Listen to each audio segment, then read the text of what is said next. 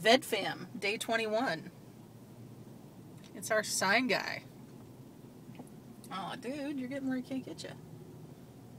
Because he doesn't want you. Yeah. This dude's laughing at you because you're Yeah. That's okay.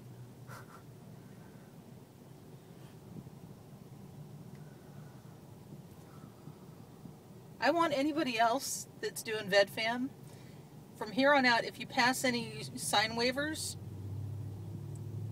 pull out your camera and film them if you're in an intersection that you can stop at.